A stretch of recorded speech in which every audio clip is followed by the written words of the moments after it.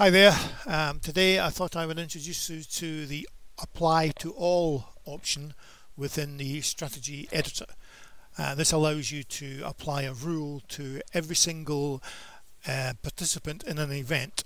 Um, so we've got the Wolverhampton race at 2030 um, just about to come up in 15 minutes so we'll apply it here. So let's just say for example I wanted to lay every single runner here but I wanted to do it in running and place that lay 30 ticks below their current price. Um, to do that manually obviously is, is pretty difficult um, and as a, but you need to use a special option within the strategy editor. So let's just set that up first of all. We want to create a new strategy. Let's rename that and we'll rename it racing lay all at minus uh, let's say 30 ticks.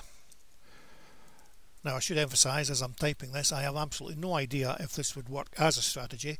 I'm just using this as an example to show you the feature within the strategy editor. Okay um, so we can save that and it will jump up in into the list there in alphabetical order. We need to add a rule now we want this rule to lay all, lay all runners at minus 30 ticks.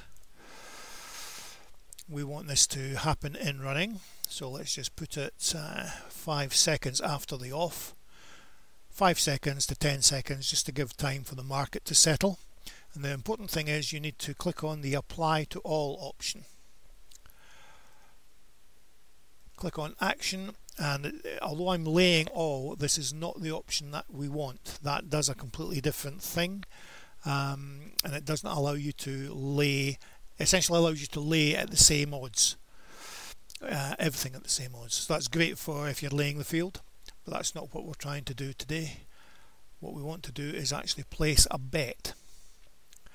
And if we choose all from the list here you see you get this warning message coming up so you may need to make sure that apply to all is selected.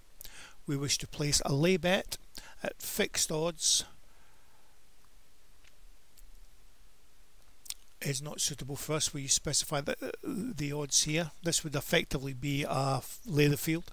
What we want to do is the best back odds. Set that to minus that to 30 and the bet size we will do a fixed amount of 100 and set that as a liability. So irrespective of how many runners get matched the maximum liability we will have is 100 fill or kills are relevant um, because we're going to be getting this to go in after the off. And there's no need to apply any conditions. Although you could for example you might not want to lay something that has a starting price above 100 for example but we'll leave that as is for the purposes of this exercise. So click on OK there. And the thing to note here is this area is shaded in a sort of turquoise blue uh, whereas normally it would be yellow. That is a visual reminder that this applies to all runners. Uh, what we'll also add in is a rule that will green us up. Uh, so first of all I like to put in my uh, a little audio message to say that I'm actually in the process of trading out. Again set that to five seconds. There's no need to apply to all because this message will happen. As part of the whole process. Uh, we wish to play a sound. Now this sound is one I've recorded earlier. It doesn't come with Fairbot so you'll need to record it yourself we do have to apply a condition here and that is if the green up all option is set to uh, let's make a £10 profit here shall we? Hopefully. Uh, so it'll play that sound saying trading out if the green up all option is 10 uh, choose OK for that and then we actually need to add the rule that will actually do the greening up green up all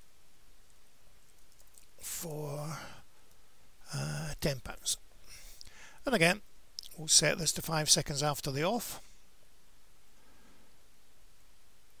The action is greening up all selections at the available price cancel any unmatched bets that's fine. We again need to apply the same condition as we had earlier green up all for £10 and we'll click on OK for that. Save that and now what you'll find if I assign that particular strategy. What was it? Where are you? Where are you? There we are. Lay all for 30 ticks. You'll see how it's applied a separate rule for every single runner. Now that's important because if you were manually applying this strategy it would take you ages to do each runner individually. And imagine if you've got a 20 runner race. By applying this mechanism here it doesn't matter how many runners are in the field it will always produce the equivalent number of uh, rules assigned to each individual runner. Okay now what I'm going to do is I'm going to pause this video and let's see how we get on in running. I have no idea whether this strategy is is remotely possible or uh, profitable uh, but uh, anything for a giggle. That's why I'm in simulation mode alright we'll come back once the race is underway.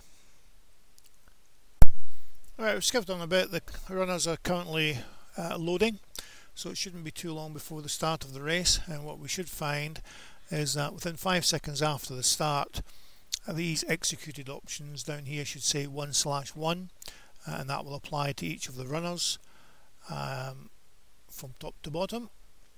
Um, and this one won't fire and that one won't fire until the green up all position is um, is reached 10 10 pounds. Okay so if we switch back to the bets tab um, you'll see the bets coming in here when they, they get fired when they get triggered uh, within five seconds or so just after the start of the race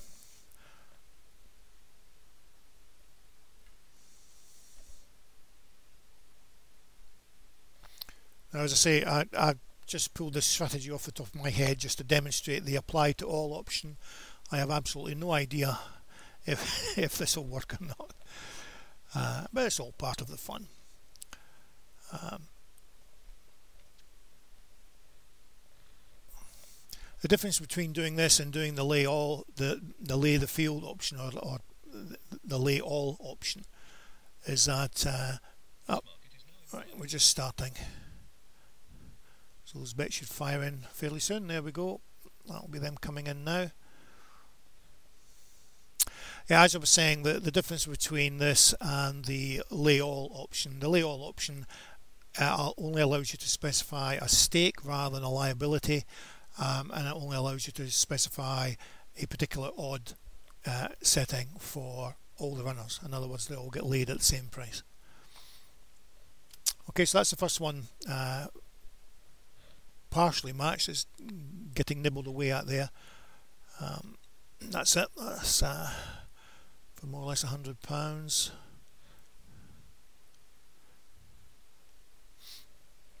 I'm interested to see if anything else gets matched. It doesn't really matter if this uh, particular strategy works or not, or this example works or not. It's really there just to show you the, the apply to all option, uh, which you may find useful if you're setting up strategies on fields with uh, uh, different numbers of runners and so on in. Spy down the bottom may get matched soon. What's Spy looking at? Spy has to reach 5.1. There it is. Just going in. So that's Spy matched. And there's a trading out figure. And as long as SPY doesn't carry on improving, that trading out should work.